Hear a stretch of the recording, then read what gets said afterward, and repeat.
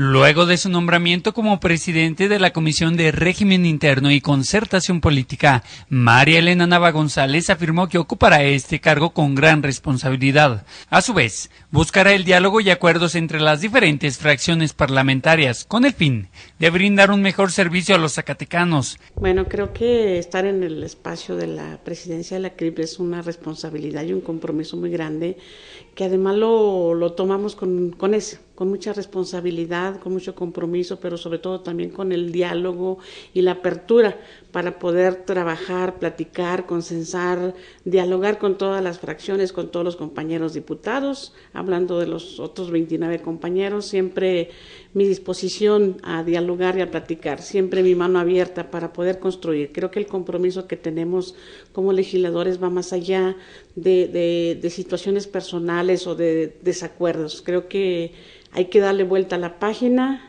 Ahorita ya vamos a pensar hacia adelante, hacia lo que viene, los compromisos que vienen como, como grupo parlamentario, como, como diputados de lo que vamos a hacer. Creo que es muy importante, el reto es fuerte, además los tiempos se van acortando. Entonces lo que construyamos yo creo que y lo que le ofrezcamos a los zacatecanos es lo más importante ahorita.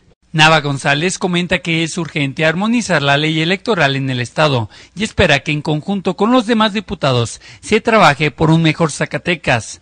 Para México Explorer, Cristian Acuña.